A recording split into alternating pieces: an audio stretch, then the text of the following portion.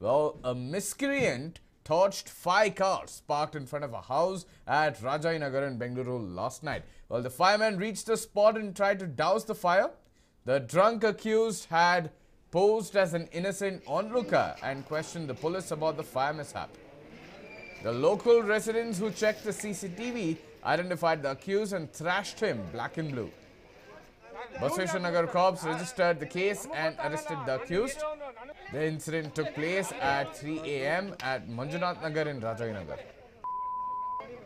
A shocking incident coming to light where one of the uh, drunkard who was present at the spot, he has gone ahead and he has torched five cars parked in front of a house at Rajaji Nagar.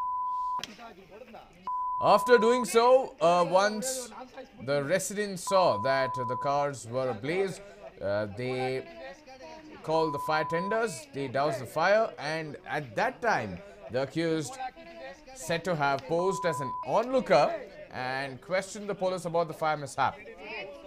And that is when the residents took him to task. They thrashed him black and blue and then handed him over to the cops. Well, there you see visuals uh, left side of your screens where the accused has been arrested by the cops. But at the same time, uh, several residents in the area went ahead. They thrashed him black and blue for lighting, torching their uh, vehicles without any reason, without any cause. The incident took place at 3 a.m. at Manjunath Nagar in Rajaji Nagar.